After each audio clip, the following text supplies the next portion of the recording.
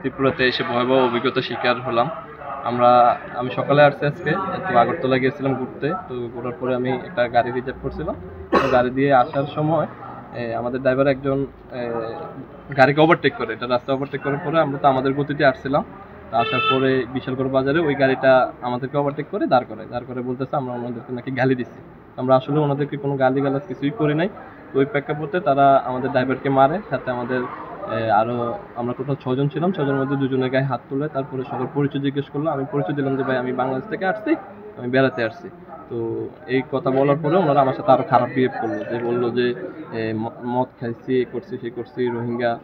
মানে যত যেই খারাপ অভিজ্ঞতা শিকার হওয়া যায় সেই অভিজ্ঞতা অর্জন করলাম আর কি। তো আমি তাদের লোক সংখ্যা বেশি ছিল এখানে কথা বলব কোনো রাস্তা নাই তো আমি চুপচাপ ছিলাম। তারপর আমি বললাম যদি আমি নেশা করে থাকি তাহলে আমাকে ডোপ টেস্ট করা। করে আসছি সকালবেলা আসছি পাসপোর্টে আমি শ্রীমন্তপুর বর্ডার দিয়ে আসছি।